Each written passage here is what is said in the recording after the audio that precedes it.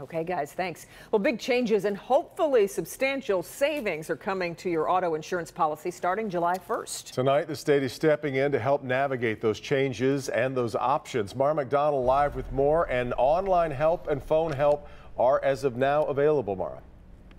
That's right, Devin. And the state is essentially saying this we want to shed transparency, sunlight on this whole process. For example, if you go online right now, you can access a sample of what you're going to have to fill out when you talk about what kind of coverage you want, all in an effort to smooth that transition into a different kind of auto insurance here.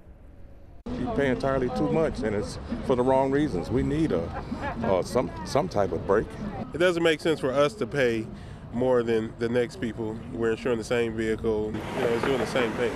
Everybody's tired of our highest in the country auto insurance premiums, and starting July 1st, because of changes to our no fault auto insurance system, you will now have options on what kind of coverage you want, and the state has already got a website up to help navigate the new process. We want consumers to begin thinking about their choices now so that they'll be in the best position to make the decisions for their families uh, when the time comes for them to buy or renew a policy. Plus, the state has contracted six actuarial firms to go over the data from insurers to make sure it's accurate and fair. What an actuarial review um, is intended to do is to make sure that the rates and, that they file and that they are going to give to the public bear a reasonable relationship to the costs and expenses so that if they have lower costs for this new laws, we anticipate they will, they also have to pass those on to, to the people who are buying the insurance policies.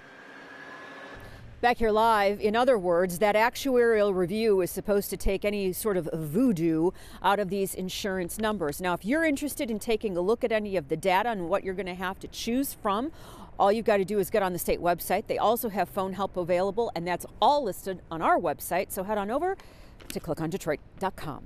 We're live downtown tonight. I'm Mara McDonald. Back to you.